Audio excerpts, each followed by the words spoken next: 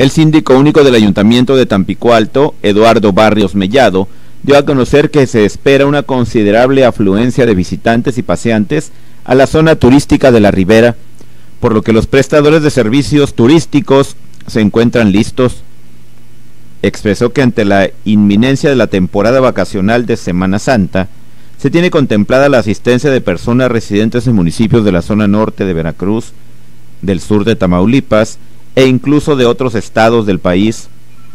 Manifestó que tradicionalmente la ribera es el punto más atractivo para las familias que acuden a degustar los principales platillos de la gastronomía regional. Se comprende tanto la zona de la ribera como el oeste Solito y la laguna de Tambiagua y efectivamente estamos preparándonos con acciones implementadas por nuestra uh, alcaldesa y ejecutadas por los integrantes del Cabildo para que en esta Semana Santa, bueno, nuestros visitantes se lleven la mejor de las experiencias y la, el mayor, eh, la mejor impresión de nuestro municipio. ¿Se espera una considerable afluencia de visitantes? Claro, siempre incrementamos, eh, tradicionalmente así ha venido siendo.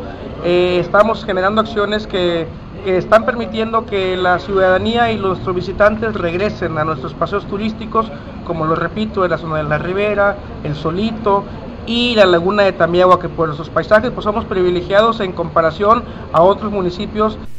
Noticieros, Canal 9.